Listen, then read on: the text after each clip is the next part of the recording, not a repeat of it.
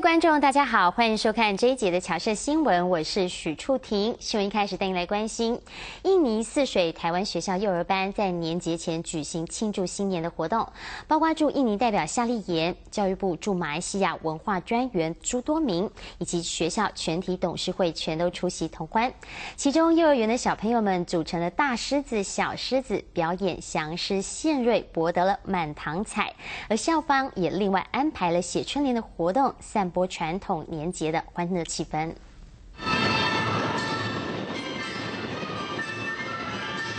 随着热闹的节庆音乐，泗水台湾学校幼儿班的小朋友扮演大狮子与小狮子，表演降狮献瑞，模样天真又可爱。为了庆祝农历新年到来，校方特别邀请驻印尼代表夏立言、教育部驻马来西亚文化专员朱多明以及学校全体董事会共襄盛举。除了提早感受年节气氛，也见证孩子们的学习成果。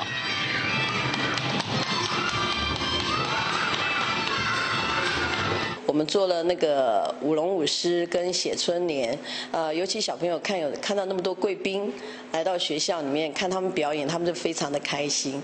那我看到他们今天的表现呢，我也非常的开心。然后老师们呢，觉得这一段时间呢，呃，为他们的付出哈，也非常的开心。看他们这样子对呃中国新年这么的呃热衷跟喜爱，那我们真的是感觉得说这个中华文化哈，我们要继续。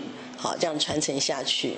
钟老师所带领的呃幼稚园班，那希望他们能够在这里学到有中文、有英文、有印尼文，好，然后让我们学校更成长。